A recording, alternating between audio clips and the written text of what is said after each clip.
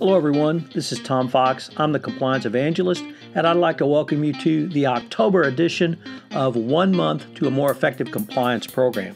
This is the only monthly compliance program focusing on a different subject, taking a deep dive so that it will help you have a more effective compliance program.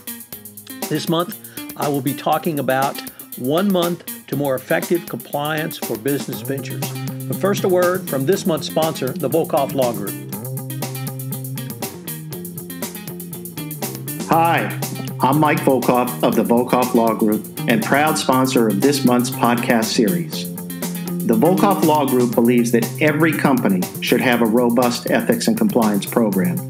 Experience and research show that ethical companies are better performers in the global marketplace.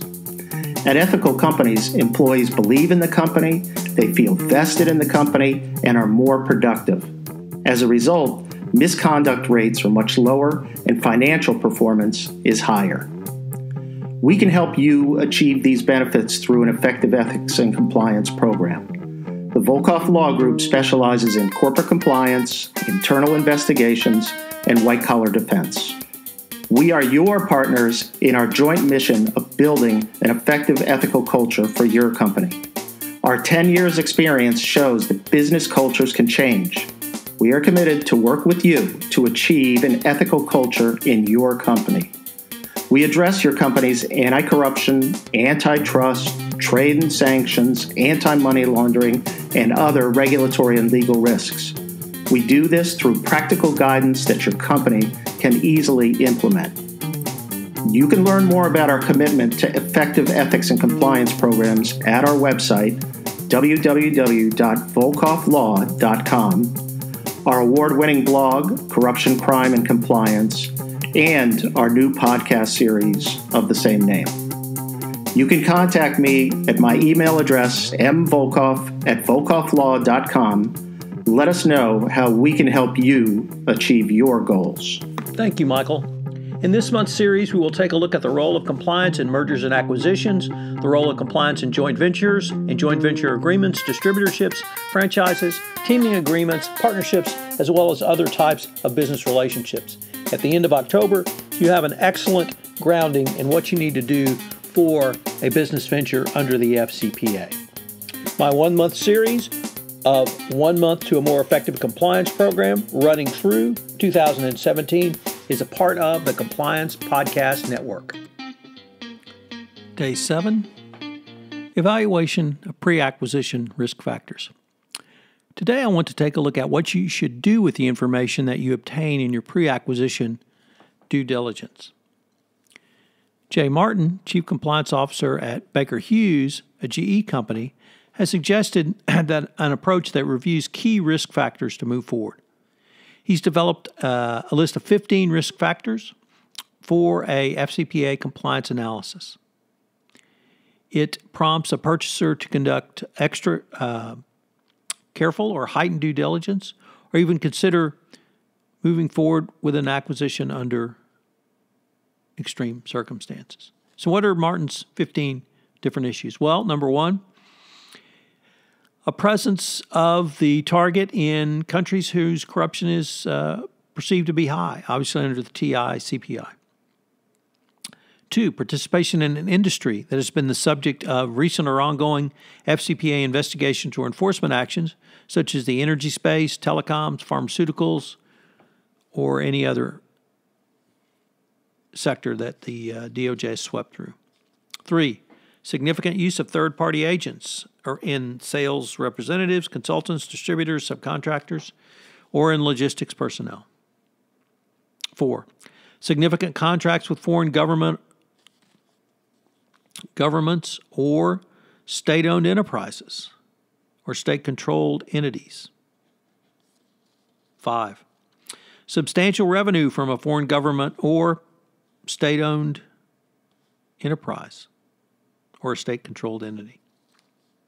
Six, substantial projected revenue growth in a foreign country. How are you going to get that growth? Seven, high amount or frequency of claim discounts, rebates, or refunds in a foreign country.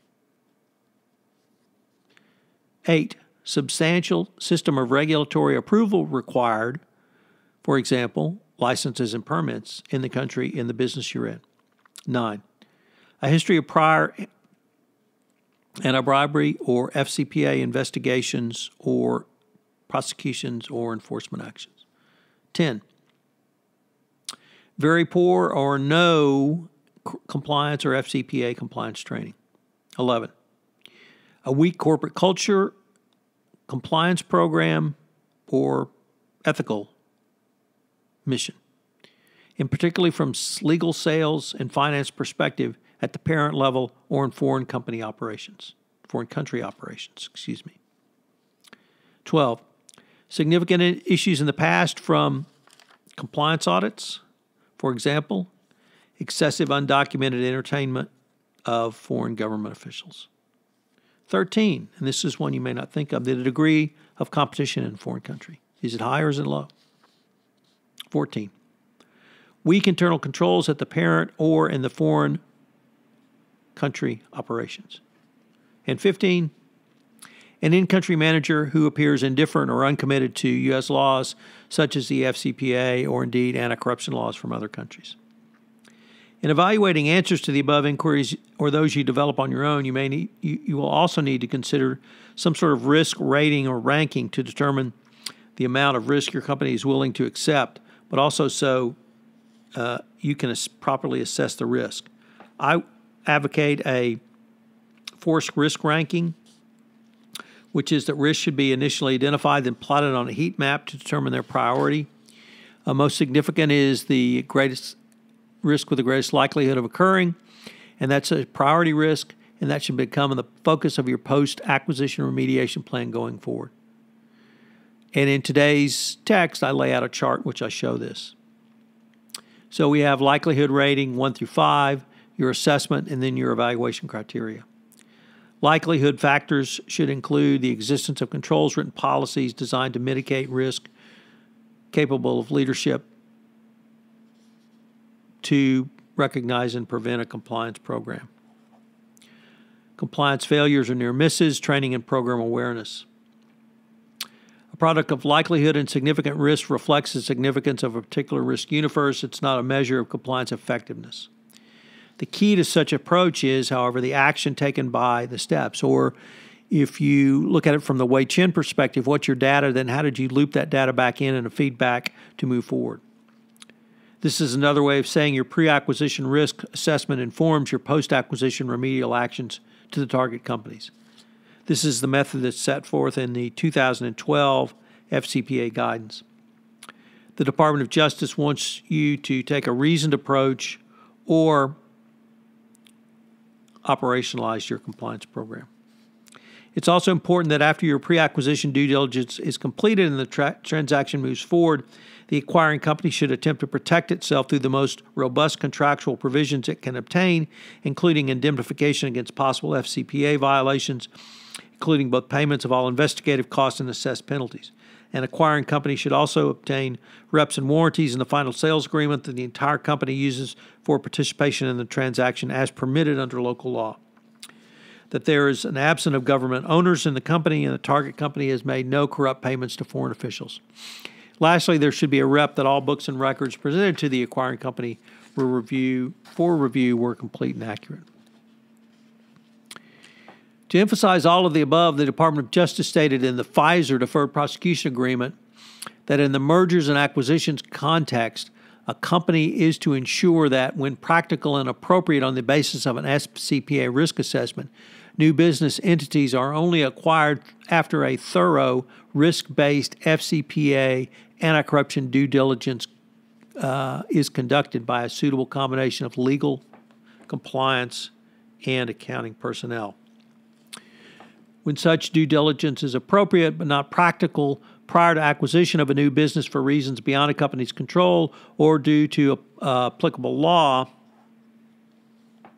the acquiring company should continue to conduct anti corruption due diligence subsequent to the acquisition and report to the DOJ any corrupt payments. So, what are today's three key takeaways? Number one, create, create your own list of key risk factors in your own, for your own protocol.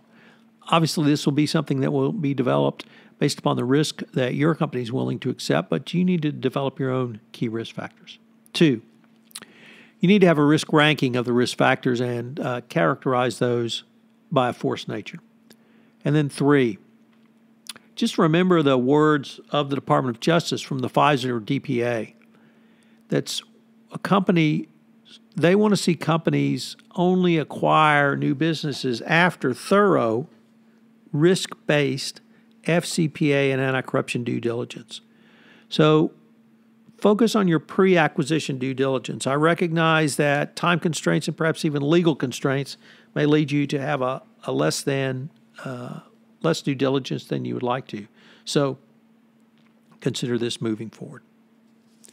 This is Tom Fox. I hope you've enjoyed day seven of one month to more effective compliance for business ventures, and I hope you will join me tomorrow for day eight. This is Tom Fox again. I'd like to thank you for listening to this episode of One Month to More Effective Compliance for Business Ventures, and I hope you will join me again. If you have listened to this podcast on iTunes, I would greatly appreciate it if you would rate the podcast, as it would help in our rankings and help get the word out about the only daily podcast which will bring you a more effective compliance program.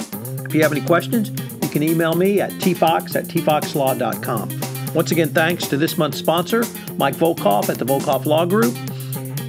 The podcast series, One Month to a More Effective Compliance Program, is a part of the Compliance Podcast Network please join us again.